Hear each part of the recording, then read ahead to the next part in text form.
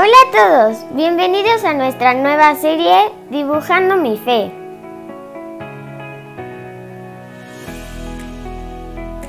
El día de hoy vamos a hablar sobre el Domingo de Ramos. El Domingo de Ramos es una fiesta importante en la Iglesia Católica porque marca el inicio de la Semana Santa. Este día recordamos la vez en que Jesús entró triunfalmente a Jerusalén. Para celebrarlo, se hace una misa en la cual recibimos hojas de palma, cantamos con alegría para recibir a Jesús.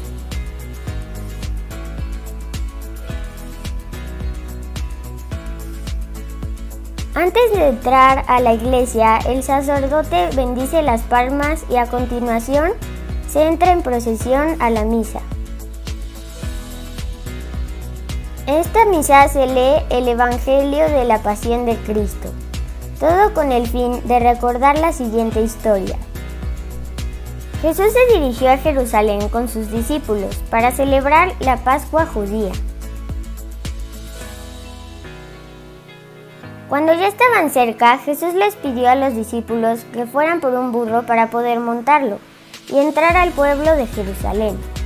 Les dijo que si alguien les preguntaba por qué se llevaban al burrito, le dijeran que Jesús lo necesitaba. Al entrar a Jerusalén, los discípulos encontraron al burro atado frente a una puerta, tal como Jesús les había dicho. Cuando regresaron con Jesús, él se montó en el burro y entró al pueblo. La gente lo alababa y ponía sus capas y hojas de palma por todos los lugares por los que él pasaba como el signo de alabanza. Gritaban, bendito sea el que viene en nombre del Señor. Este es el profeta Jesús de Nazaret de Galilea. Este es un gran ejemplo de amor y humildad de Jesús, porque aunque Él es Dios y Rey del universo, decidió entrar a Jerusalén en un burro e intentando no llamar la atención. El Domingo de Ramos es oportunidad para reconocer a Jesús como Rey y centro de nuestras vidas. Debemos parecernos a esa gente de Jerusalén que se entusiasmó por seguir a Cristo. Es un día en el que podemos decir a Cristo que nosotros también queremos seguirlos. Queremos que sea el Rey de nuestra vida, de nuestra familia, de nuestra patria y del mundo entero. Es por esto que hoy debemos de atrevernos a reconocerlo como lo que es y decir sin miedo y frente a todos, ¡Viva Cristo Rey! Si quieres leer los pasajes de la Biblia sobre el Domingo de Ramos, los puedes encontrar en los siguientes versículos.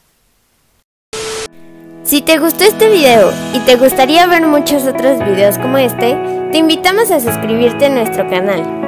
Déjanos en los comentarios qué aprendiste hoy que no supieras antes y nos vemos en el próximo capítulo de Dibujando mi Fe.